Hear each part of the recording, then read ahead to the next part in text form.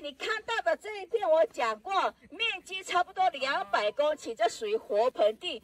其实活盆地是跟它的土壤有很大的关系哈。我刚刚讲过，活盆地属于沼泽区哈，沼泽区就是一定有水哈。目前它的水在底那个体在里面土里面哈，土里面 哈。这个活盆地的土壤，它属于有机土缸，它有多种元素跟矿物质，哦，而且这个土壤哈，草泥炭土也可以做面膜。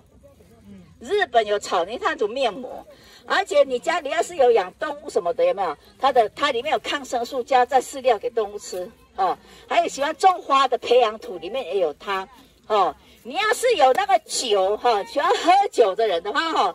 哎，你可以来这里买一块地哦，把酒埋在里面哦。一年几年以后出来哦，那个酒非常的好喝，嗯，非常的好喝。那个威士忌有没有？嘿，威士忌国家哈，它的酒就是它的酒放在泥炭土里面出土，一瓶就要上万块以上了，从万起跳了，一瓶都从万起跳了哈。而且这个草泥炭土哈，请问一下，水深六十米，几层高楼到下高？水深六十米。